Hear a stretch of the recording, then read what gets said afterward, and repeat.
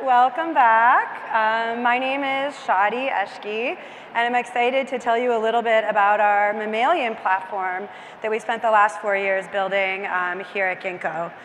Um, okay, so um, the advances in synthetic biology are really revolutionizing medicine today.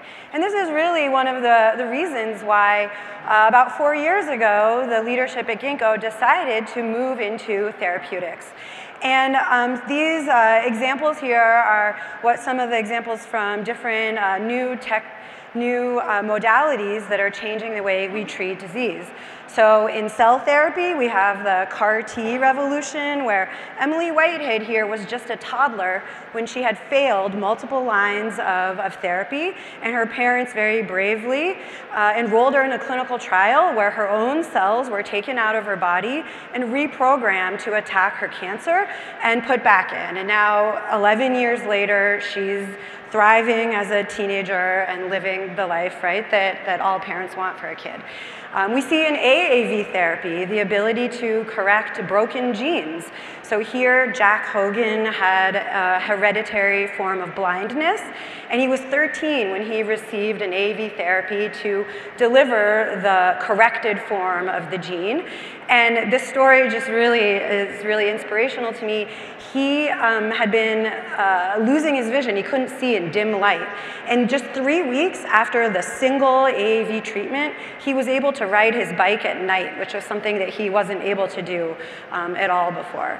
Um, within CRISPR, we see the ability to correct sickle cell disease, which is a debilitating disease. Victoria Gray here was unable to have a full-time job or to care for her children, and now she can do that.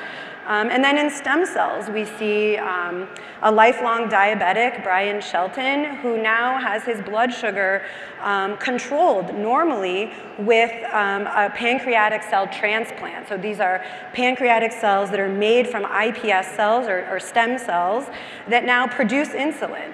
And so he's free from all the, you know, um, finger pricking and insulin injections that a diabetic has to deal with. So these are remarkable demonstrations of how across different new modalities, synthetic biology can transform lives uh, one at a time. And you may have heard, some of you, that the mission of Ginkgo is to make biology easier to engineer. And for me personally, what that means is so that we can have more of these success stories. So to extend CAR T beyond blood cancer to more challenging tumor situations, to make AAV work not just in the eye, which is a privileged immune environment, but to all tissues in the body. And what that really means is improving the efficacy and the safety of these medicines as well as the access um, critically.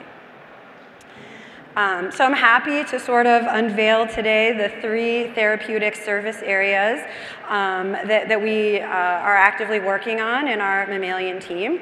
Um, I often tell people that our mammalian group, my experience has been very much like a startup within the bigger Ginkgo ecosystem. And so we're sort of coming out of stealth with RNA therapeutic services, uh, cell therapy services, and AAV services. And these are all very different therapeutic modalities, but what they all have in common with each other and with the rest of Ginkgo, all the plant stuff and the burgers and the fragrances, is the common infrastructure and approach to library design, to high throughput screening, and to integrated uh, data analytics and model building. And so, um, again, what's common is high throughput exploration of design spaces, genetic design spaces. And what I want to show you now is some vignettes from each of these three fields that demonstrate how we're leveraging our capabilities in, again, high throughput exploration of genetic design spaces to address the critical challenges. Okay, so starting with uh, RNA therapeutics. RNA is a really attractive therapeutic modality because of its easy programmability. You've all seen that with your multiple COVID vaccines, right? But that comes with trade-offs for durability, stability, and, other, um, other properties. And one way that we're approaching these, these trade-offs um, at Ginkgo is to explore circular RNA, with just by the nature of its circular structure, has, um, you know, addresses some of the stability and durability um, problems. And just as a little teaser, user, you can see the plot in the bottom right that shows the extended um, expression time of the, the lines on the top are all the circular RNAs. These are different designs made at Ginkgo relative to the traditional linear capped mRNA, which is the red dotted line that dies off pretty quickly. Um, so, but this is a relatively new therapeutic modality, so there's lots of sequence space left to explore. So how to extend that, that timeline longer? How, how is it different in different cell types? How is it different with different payloads? How can we optimize the translation? So RNA is just step one. You have to turn that into a protein, and that's driven by different sequence elements in different cells. So um, together, um, we've built a really world-class team to look at these questions, and, and as part of that, um, we welcomed uh, Circularis Biotechnologies last fall, who brought um, decades of RNA experience to add to our, um, our code base and our methods for circularization. And I also want to point out that our, our work in therapeutics doesn't end at discovery. Um, critically, we also work in manufacturing process optimization because that's really what's going to turn what is a technology into a drug, right? And um, in RNA, for example, we just signed, a, announced a new partner in a novel um, mRNA manufacturing technology with um, Sensible Biotechnologies. And I'm hearing in-house with our own circular RNA platform, we're getting over 80 80% purity, which is, which is really a high bar for these advanced therapeutics. Okay, so continuing with the theme of um, exploring untapped biological diversity, I want to do a little bit of a deep dive on our CAR-T platform. So CAR stands for chimeric antigen receptor, and um, what you really need to know about that is that it has an external part that engages with a tumor, and an internal part that drives signaling in a killer T cell. And um, there's five of these that are approved today. And what's just fascinating to me is that these five all have one of two different signaling domains. They're all the same of, of, within two choices. And furthermore, this is the same design that was the first one that worked 20 years ago in the academic publications. And but since then, our ability to read and write DNA has progressed dramatically. So if you were to start the question today of how would you design a car, you might do something differently. And here at Ginkgo, this is exactly what we've done, is harnessed our ability to make big DNA libraries and to use sequencing as a cheap and efficient readout. And so here we made not one or five or 10, but 10,000 unique car designs. They all differ on their inside signaling parts. And we put these into T cells and we do an assay that mimics what happens in a solid tumor. And each one of these CAR designs has a DNA barcode. And we can use our sequencing capability to now read out the effect of each one of these 10,000 different designs. And then after we get that, we take them and we put them in head-to-head -head tests against sort of the standard therapeutic FDA-approved CAR designs. And in our first time of doing this, we found a number of designs that are meaningfully better than the sort of first prototype designs from you know, 20 years ago, which are actually approved therapeutics today. And so now we're, we're able to continue and iterate on this library design using some of the methods that you heard Emily Renbeck and the protein engineering team um, talk about this morning. We can build ML models. And as this platform that we've built, there's different ways that partners can access this now. Um, we can, we've, we've reduced the screening to practice. You can just do this again and give you new results in, in specific contexts um, within a short period of time. Or you can just take the designs that we've already validated and use them in a, in a new CAR-T context. And then, um, you know, we've built this, this platform for this problem specifically, but it also can be extended to similar problems. So we can make binders of um, libraries of extracellular binders or do this in specific different cell types, like say natural killer cells. Um, so we see this as a very um, flexible uh, platform that we've built within our team. And just to kind of um, double click on what diversity and scale really means to us, I just wanted to walk you through a schematic of what a typical ginkgo experiment looks like for us in CAR T. So I talked about the 10,000 different um, signaling domains, but these are now put together with different CAR binders of different affinities, and then we test them in T cells from different donors. That's a really important um, thing to do because my T cells are not going to be the same as somebody else's. And then we test this against multiple tumor cell lines with a high replication factor. So for us, one experiment is 720,000 unique tests. And so this is how we can really explore the, the corners of biological diversity to improve upon function. Okay, and um, you know, ginkgo is nothing if not adaptable. And I think for these kinds of um, advanced um, technologies and advanced therapeutics, that's especially critical where some new breakthrough from an academic lab or some really important clinical trial results can shift the focus um, in these fields.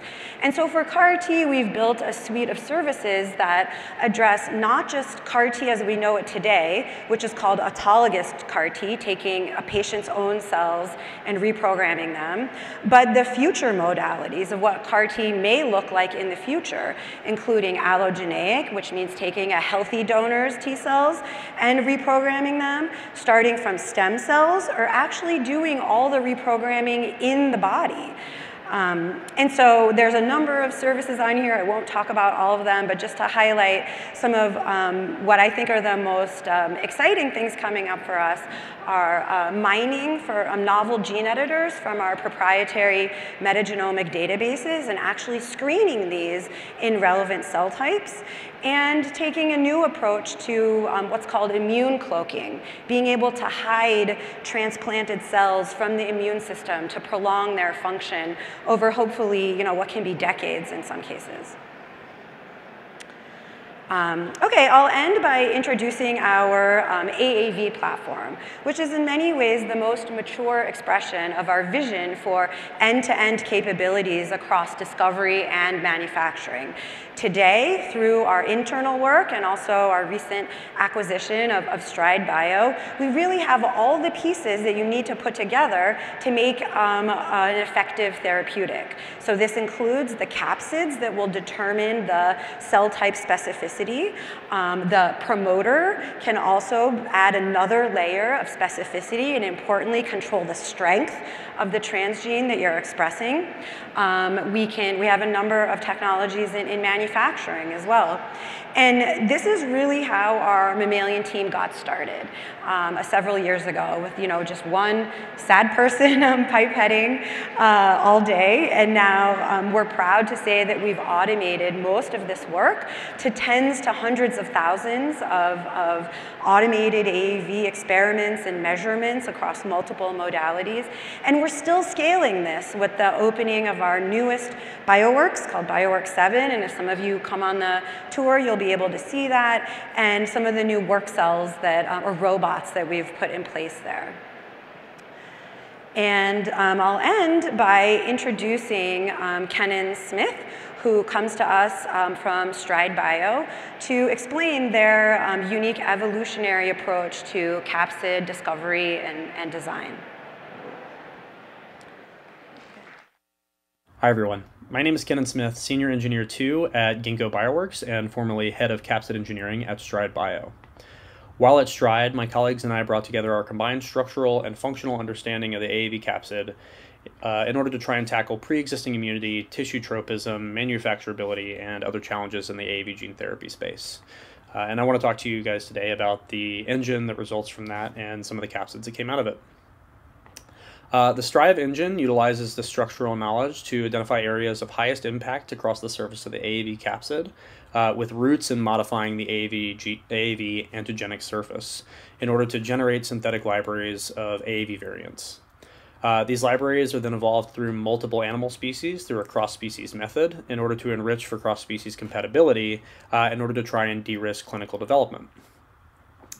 Uh, the resulting platform enabled the discovery of a portfolio of promising capsids, many of which directly address the aforementioned challenges, as well as modulating other functional areas, such as liver detargeting, potency, and cell type specificity.